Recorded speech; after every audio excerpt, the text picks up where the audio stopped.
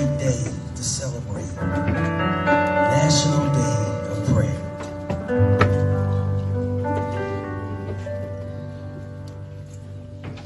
So We're going to sing this together.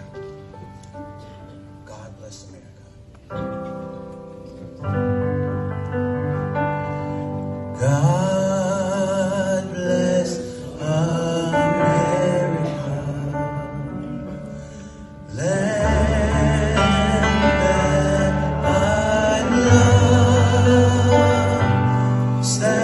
Beside her and guide her with a light, with a light from above, from the mountains to the prairies, to the ocean, wide with foam.